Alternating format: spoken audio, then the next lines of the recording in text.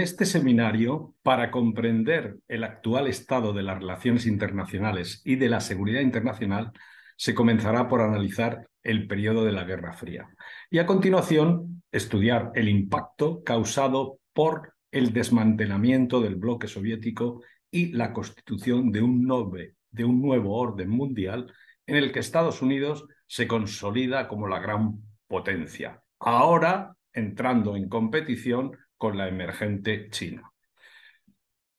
Vamos a estudiar también en este seminario las principales organizaciones internacionales, como las Naciones Unidas, la Unión Europea y muy especialmente la OTAN.